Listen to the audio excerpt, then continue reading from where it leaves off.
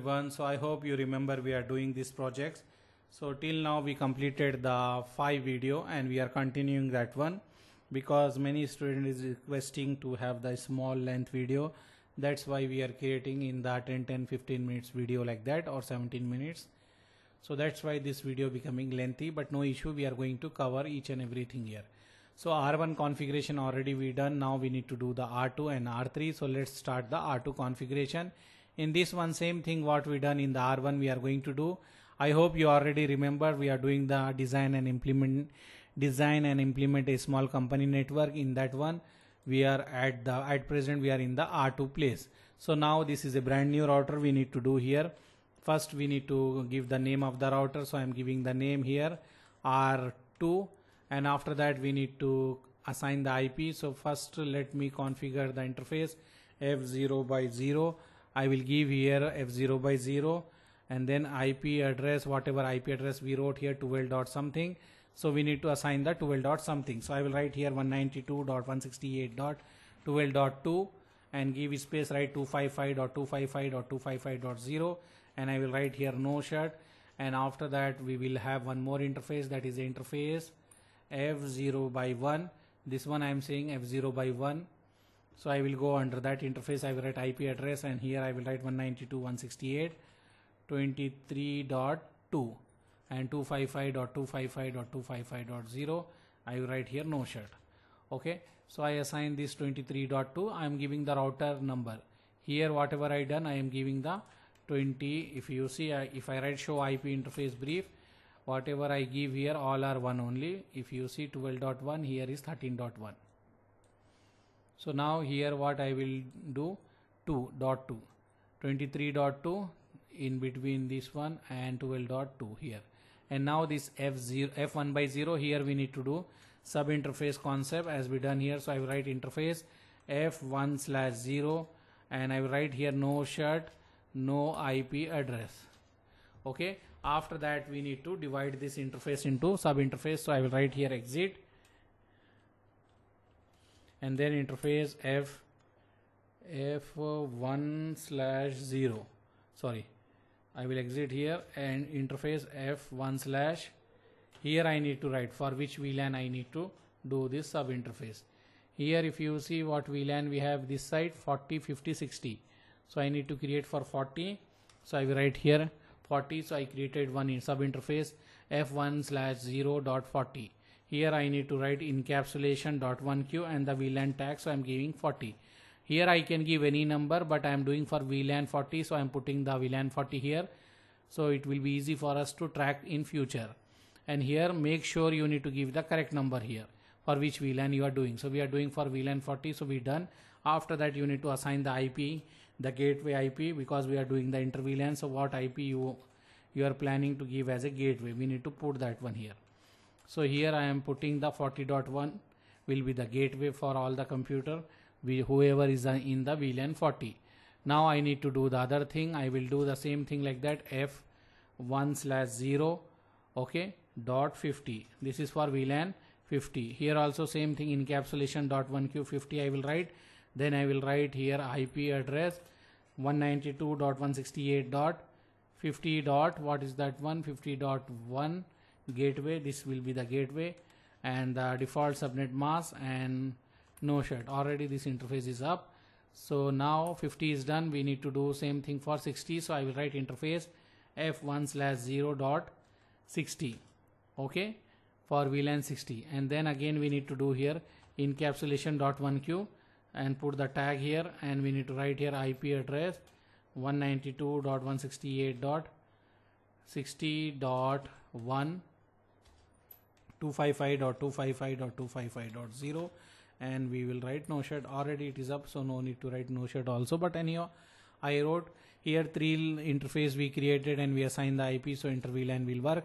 Now we need to do the routing also. So if you want to do the routing you will write router OSPF1 and then network. And you will write here network ID 192.168 what is the VLAN we are using? 40.0 and wildcard mask 0.0.0.255 area 0 area 0 this is for VLAN 40 and here I will put VLAN 50 and next will be VLAN 60 here will be VLAN 60 and after that what you have other network here?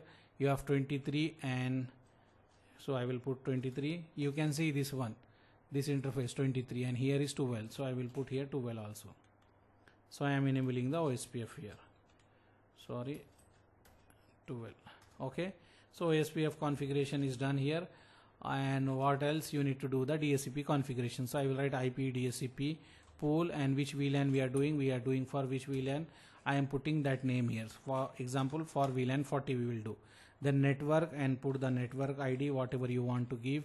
We, you want to give for VLAN 40 and then subnet mask 255.255.0 and then default router and here will be the gateway. What gateway you want to give? For 40.1 will be the gateway as we told just now.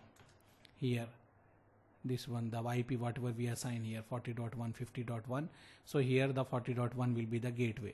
And also if you need to give the DNS you can put 8.8.8.8 as a DNS so here the DHCP server is configured in the router because as per here they are mentioning here all the devices in the network are expected to obtain the IP address dynamically with their expected router configure as a DHCP server. So second floor is having this router. So I am configuring this router as a DHCP server. So for VLAN 40 I done here. Now I need to do for the VLAN 50 and 60. So I will write IP DHCP pool and then I will write here VLAN 50 and then network and we will put the network ID 192.168 50.0 and then 255.255.255.0 and default router 192.168.50.1 okay 50.1 and if you want to give the DNS you can put 8.8.8.8 so this is for VLAN 50 is done. Now we can do for the VLAN 60 so IP DHCP pool VLAN 60 we have 60 also right here 60 so I done I'm doing for VLAN 60 network same thing like 192.168.60 dot what will be 0 and 255.255.255.0 and here will be default router 192.168.60.1 and then after that I will write DNS 8.8.8.8 okay? And this one is done. Now I can do for the 60 is finished only so I can write the IP DHCP exclude because I don't want to give this IP as I'm using the gateway. So 40.1 okay and then 50.1 then we should not give this IP to anyone 60.1 because we are using as a gateway. So this one is going to uh, work. So now we can test IP our machines are getting IP or not from the DHCP. so I will go here I will go and click here this is the PC from the VLAN 60 it get the IP from the DHCP and if you go for other VLAN click here you click here and wait for some time you will get the IP from the VLAN 50 also. And go here and you can click in the desktop and check here you are getting the IP or not. If you see you are getting the IP everything is good. Now you can ping also. This is a 40.2 so you can go to any other VLAN and put 40.2 this is 60.2 so I can ping here ping 192.168.40.2 and check reply is coming or not. It will work because we done the inter VLAN routing so it will start working now. We need to make sure it is working or not working. If you see it is working perfectly. So the what we can say the router 2 configuration is also done in the second floor. I can save the configuration and here also already we have configuration. We can uh, save also here also. Okay? Here also we can save. And now you can do the same thing in this other router also. This router. So let's go and do fast. So this is the th third floor router. I will do very fast. So I will write no enable and I will do the configuration. Host name I will give as a R3 and then we need to put interface f0 by 0 you have here this one and IP should be 13.3 so I will write here IP address 192.168.13.3 255.255.255.0 and we will write no shut and then you have another interface if you see this one f0 by 1 so f0 by 1 IP address we told 192.168.23.3 255.255.255.0 I will write here no shut. This one we wrote here 23 192.168.23.0 here should be 23.2 here should be 23.3 so we assign that IP and now we need to do this one. This is a f1 by 0 we need to divide the sub interface for this VLAN VLAN 70 and another VLAN is VLAN 80 so let's do this one so what I will do here I will write interface f1 slash 0 and here I will write no shut and then again I will write in I will exit this and interface you can write this way also. Let me write no shut no shut and no IP address we will write. But anyhow we don't have any IP there also. I will write interface f1 slash 0 now I need to again I go inside. Interface f1 slash 0 now I need to divide this into sub interface for VLAN 70 and VLAN 80 so I will write here 70 okay? And then I will do encapsulation dot one q and VLAN number I need to put and I need to assign the gateway. So I will write 192.168 70.1 255.255.255.0 and we will write no shut here. Then we will exit and we will write interface f. What is that one? F uh, 1 slash 0 dot 80 and we will write here encapsulation dot 1 q 80 and after that what we can do here? We can assign the ip ip address 192.168 dot 80 dot what is that one? 80 dot 1 255.255.255.0 and no shit already this is up only. So this way we assign the IP so we created two sub interface if you want to check you can write show IP interface brief.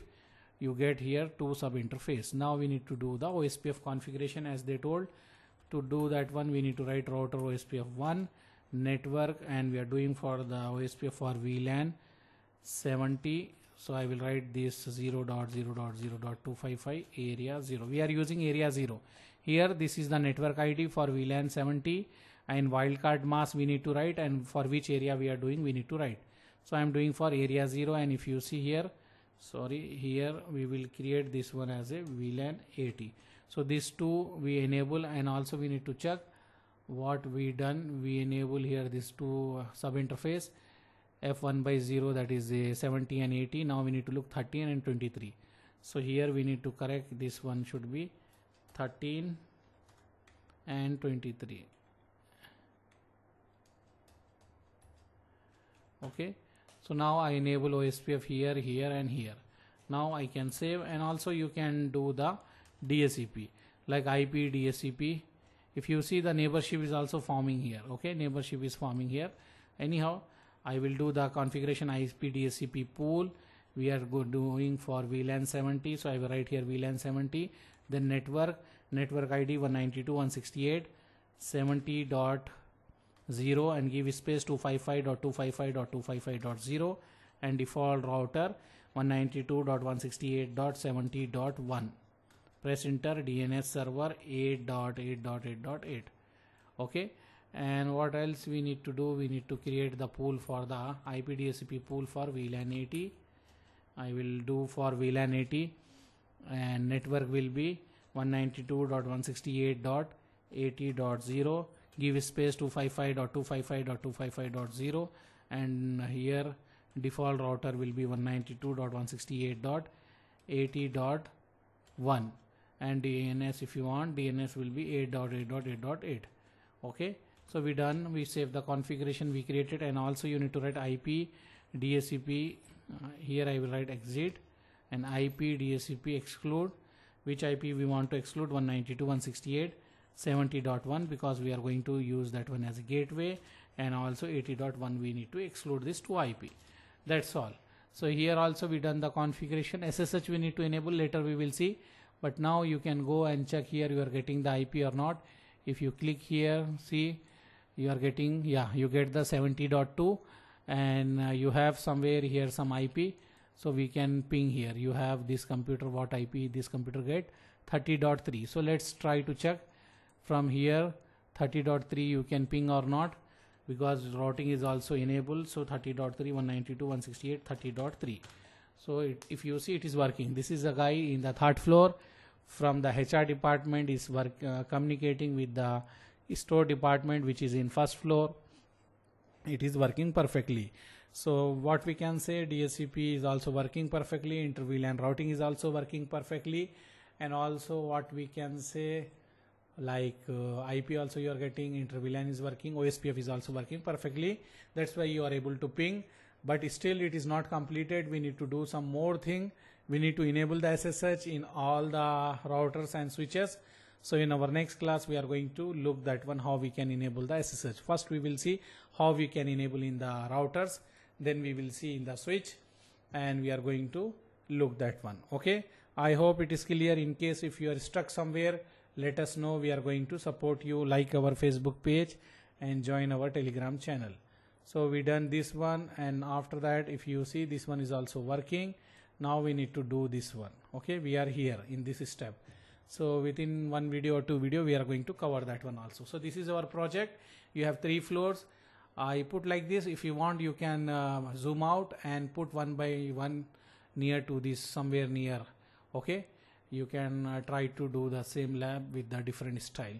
You can put one below another one below another one like that you can do. Okay thank you. See you